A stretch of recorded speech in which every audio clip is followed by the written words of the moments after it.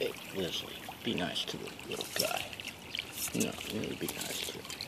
It's not a bug, it's a mud bug, but you can't have him. Let him go. He's okay.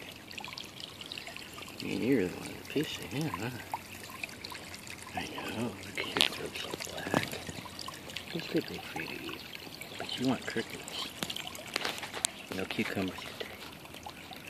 You don't like those cucumbers today, huh? But that's your favorite, Lizzie. Yeah, big Lizzie, a monster. She wants to take my butt. Oh, she wants to. Oh, yeah, she can't have it. No. No. He turned over for you, Lizzie. He's just showing you he's not gonna bother you. See? I Just a little mustard.